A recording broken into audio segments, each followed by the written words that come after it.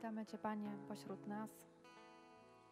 Dziękujemy, że chcesz do nas przychodzić, że możemy znaleźć się w Twojej obecności, blisko Ciebie. Ty, który jesteś wszechmogący, dopuszczasz nas tak blisko do siebie.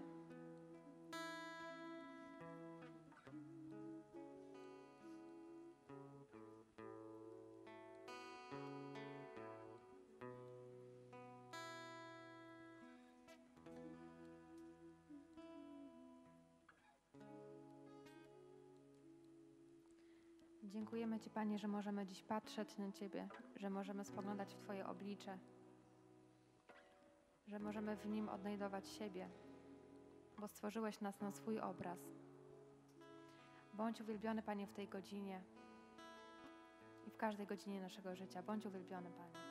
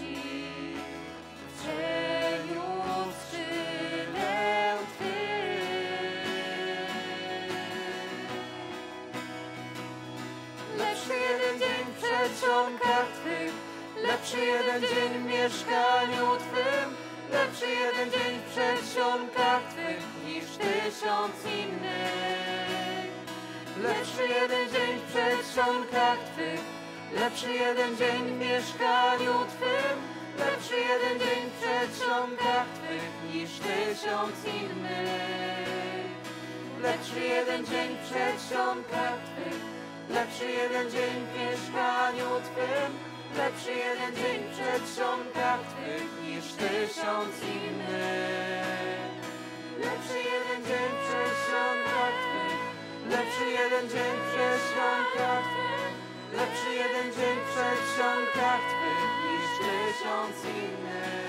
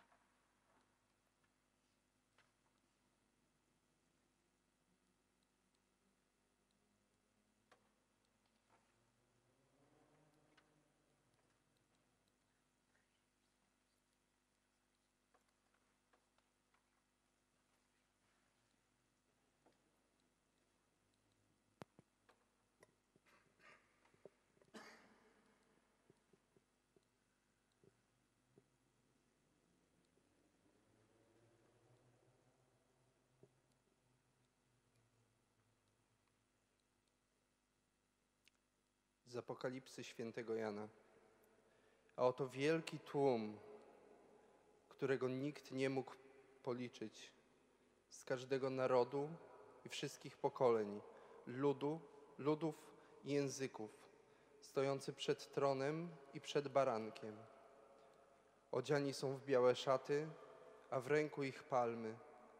I głosem donośnym tak wołają: Zbawienie u Boga naszego, zasiadającego na tronie i u baranka.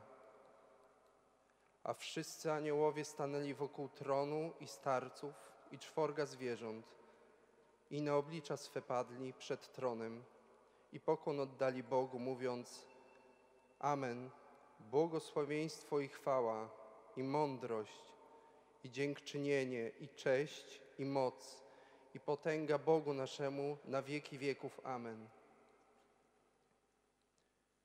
To ci, którzy przychodzą z wielkiego ucisku i opłukali swe szaty i w krwi baranka je wybielili. Dlatego są przed tronem Boga i w Jego świątyni cześć Mu oddają we dnie i w nocy.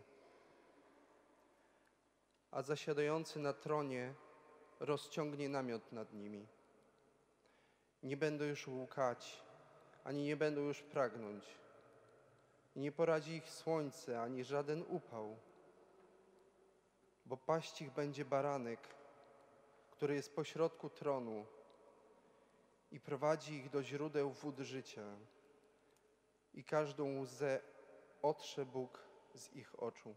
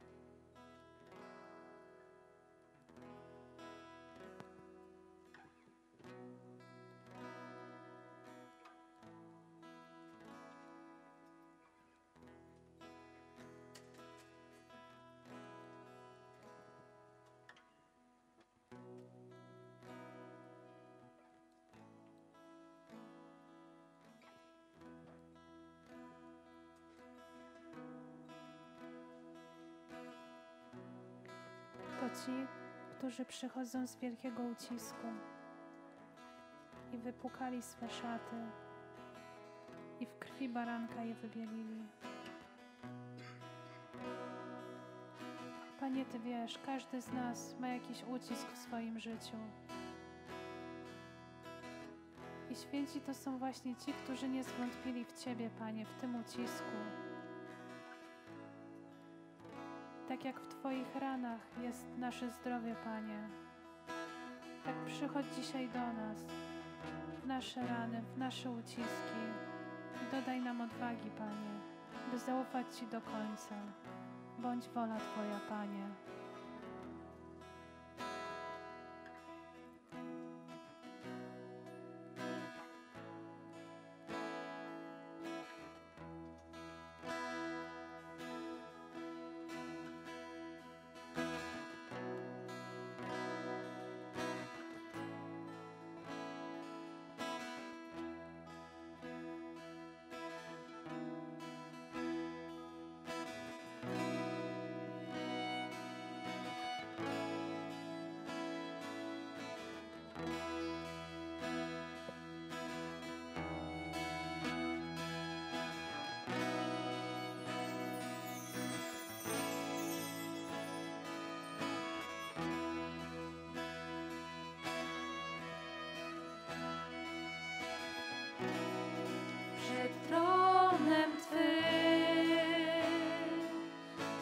Elohim.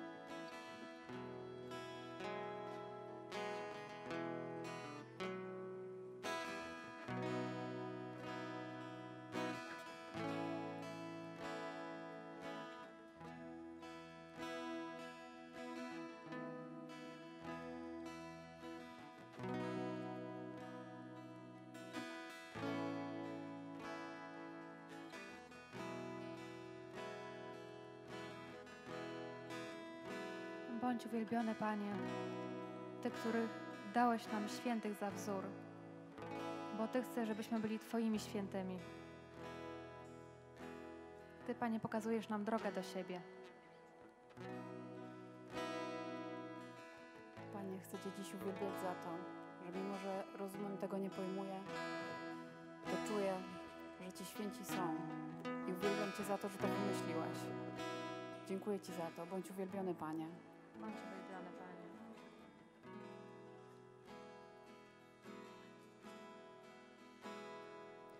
Panie Boże, Ty prostujesz ścieżki naszego życia. Ktoś kiedyś powiedział, że tylko Ty, Panie, potrafisz pisać prosto na krzywych ścieżkach, na krzywych liniach naszego życia.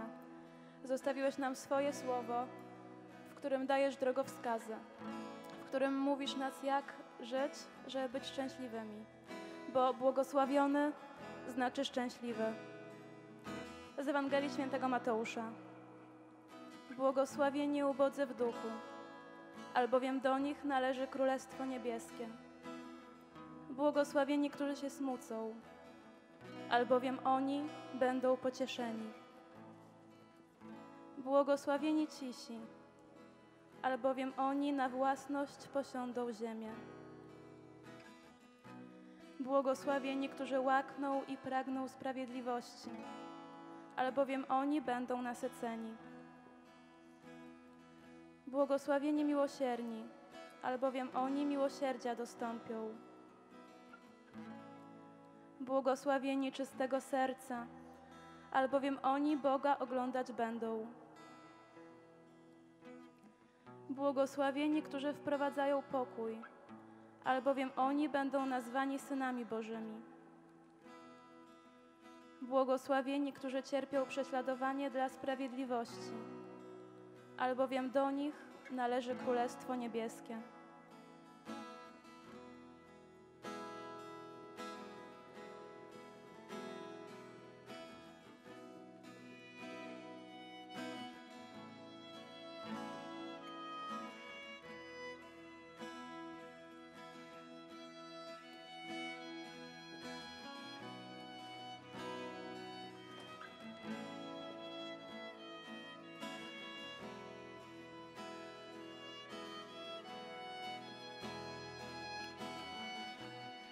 Przed tronem Twym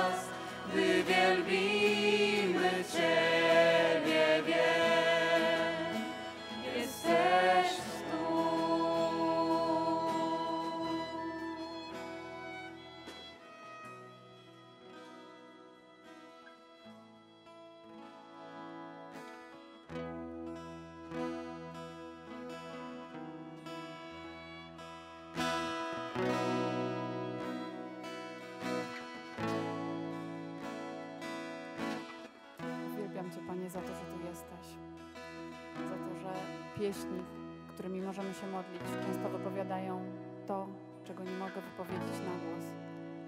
Dziękuję Ci, Panie Boże, za to, że tu jesteś.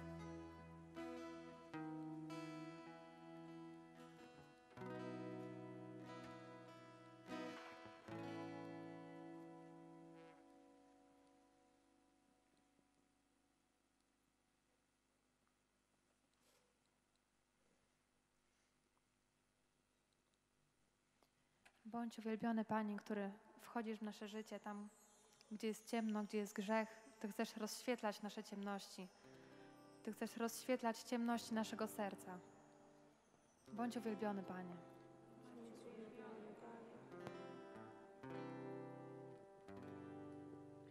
Bądź uwielbiony we wszystkich chorych i cierpiących. Bądź uwielbiony w Pani Renacie, tych wszystkich, którzy prosili nas o tę modlitwę. Bądź uwielbiony, Panie. Bądź uwielbiony, Panie.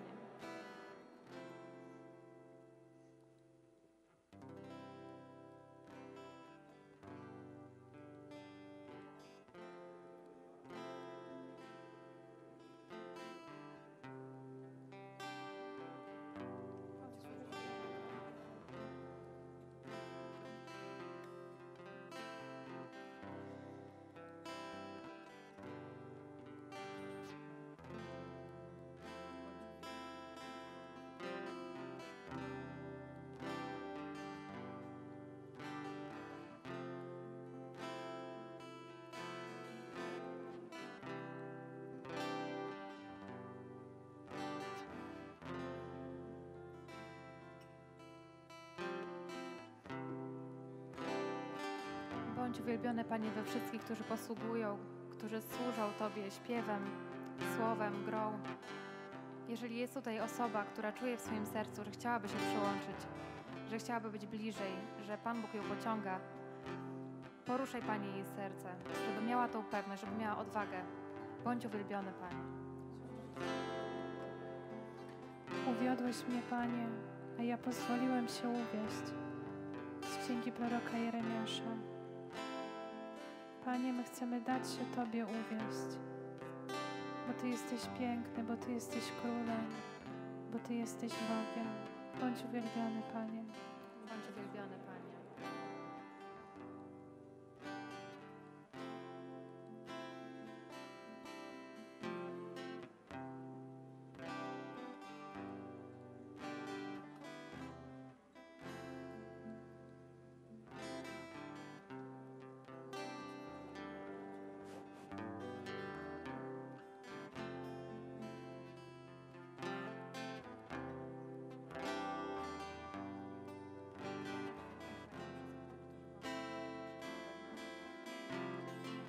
Uwielbiony, Panie, w rzeszy świętych, świętych, którzy są drogowskazami w naszym życiu, którzy pokazują nam, że mimo słabości też możemy dojść do świętości. Bądź uwielbiony, Panie.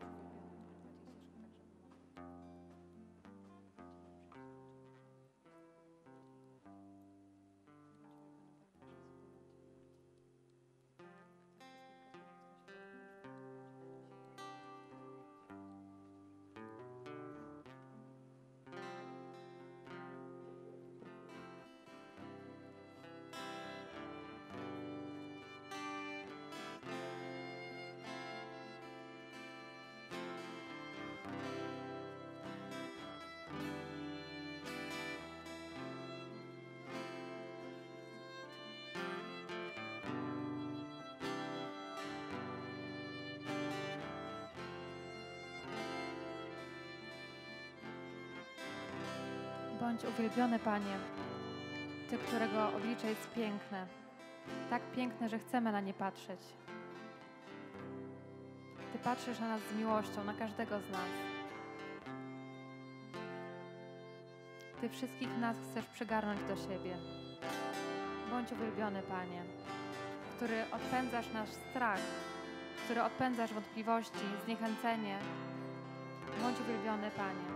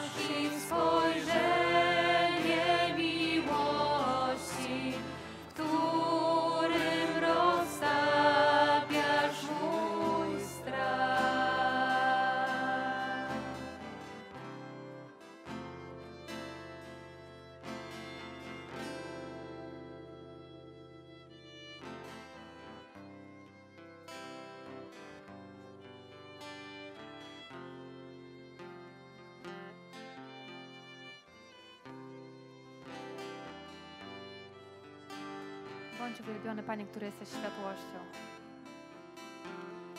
Ty światłość dnia.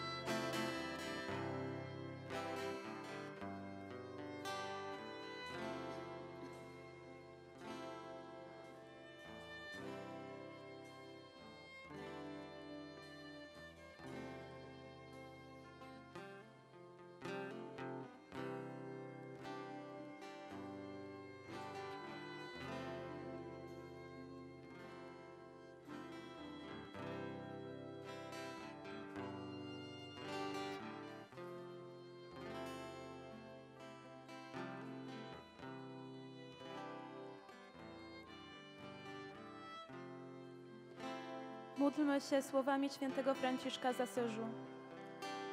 O Panie, uczeń z nas narzędzia Twojego pokoju, abyśmy siali miłość tam, gdzie panuje nienawiść, wybaczenie tam, gdzie panuje krzywda, jedność tam, gdzie panuje zwątpienie, nadzieję tam, gdzie panuje rozpacz, światło tam, gdzie panuje mrok, radość tam, gdzie panuje smutek.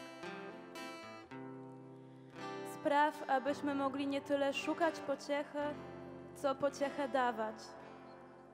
Nie tyle szukać zrozumienia, co rozumieć. Nie tyle szukać miłości, co kochać. Albowiem, albowiem dając, otrzymujemy. Wybaczając, zyskujemy przebaczenie. A umierając, rodzimy się do wiecznego życia.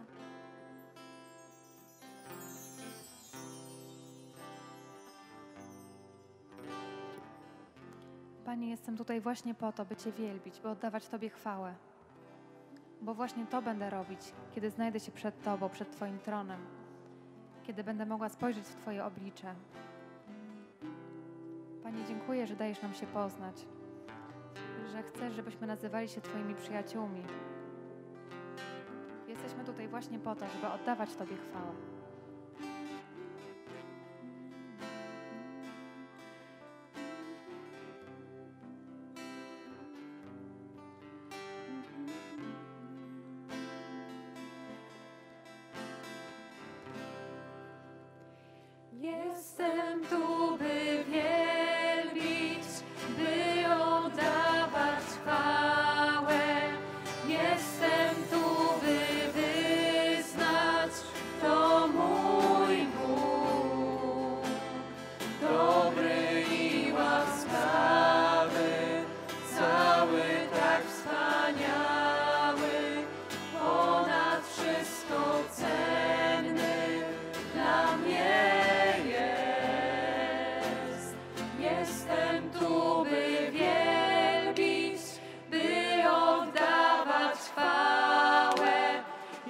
Jestem tu, by wyznać, to mój Bóg.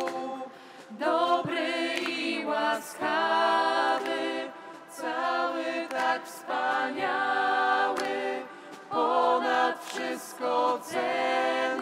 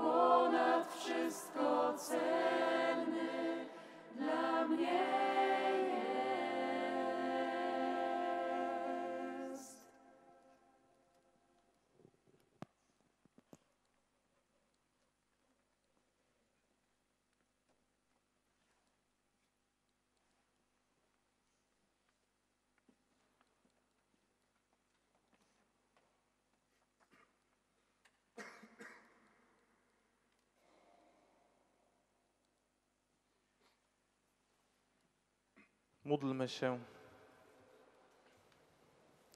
Boże, Ty w Najświętszym Sakramencie zostawiłeś nam pamiątkę swej męki. Daj nam taką czcią otaczać święte tajemnice ciała i krwi Twojej, abyśmy nieustannie doznawali owoców Twego odkupienia, których żyjesz i królujesz na wieki wieków.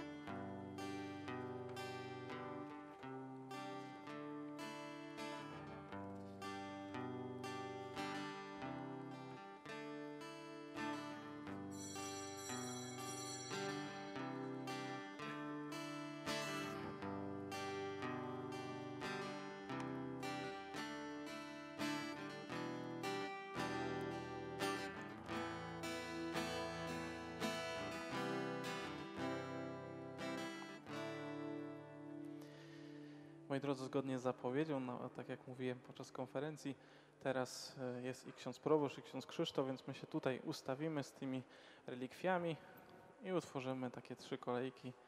Zobaczymy e, też, żeby, żeby poczuć te obcowanie świętych, żeby poczuć tę bliskość, więc zapraszam serdecznie do tego, żeby uczcić te relikwie teraz.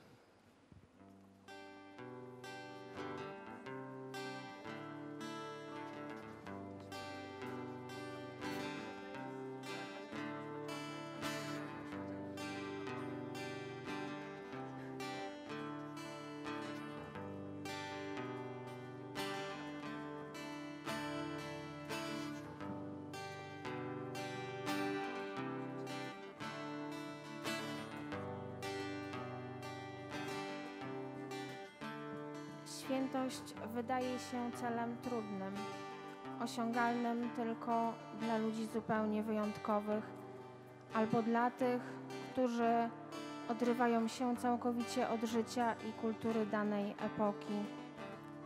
W rzeczywistości świętość jest darem i zadaniem zakorzenionym w chrzcie i bierzmowaniu, powierzonym wszystkim członkom Kościoła w każdej epoce jest darem i zadaniem dla świeckich, tak samo jak dla zakonników i kapłanów.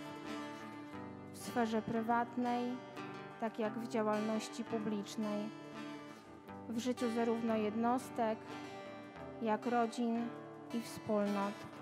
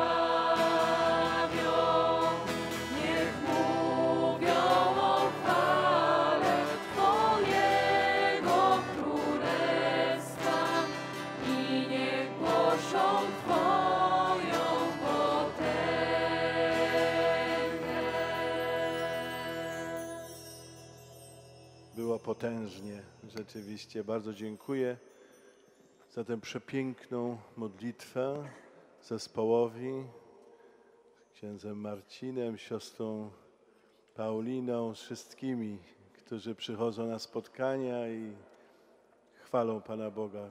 Jakaż to radość w sercu, jak nas jest coraz więcej, jak y, widać, czuć chwałę Bożą. Bóg zapłać wszystkim. Będziemy teraz patriotycznie przeżywać w sobotę różne wydarzenia. Dużo się dzieje. Niech Pan Bóg błogosławi. Jeszcze daję słowo tutaj księdzu Marcinowi. Ja tylko spieszę z wyjaśnieniem, bo może ktoś się zastanawia, kogo tak właściwie ucałował, bo ja nie powiedziałem instrukcji na początku. Więc jeżeli ktoś był księdza Krzysztofa, to miał do czynienia z- ze świętą siostrą Faustyną. Jak ktoś był księdza proboszcza, to miał do czynienia z naszym patronem świętym Kazimierzem, a jak ktoś ucałował relikwię u mnie, to miał do czynienia ze świętym Janem Pawłem II, więc jak ktoś się zastanawiał, to już zagadka rozwikłana. E, Moi drodzy, ja Was pragnę zaprosić tylko e, i aż na następne nasze spotkanie. Będzie tylko ciekawiej, bo ja nie będę już mówił, będą mówili inni i zaproszeni goście, i niespodziewani goście, więc e, więcej nie będę zdradzał, tak jak w hollywoodzkim filmie, tylko taką delikatną zajawkę Wam oddaję, żeby Was zachęcić i żeby przyjść i cieszyć się razem z nami tą świętością, która jest naprawdę na wyciągnięcie ręki. Więc życzę wszystkim dobrej nocy i szczęść Boże.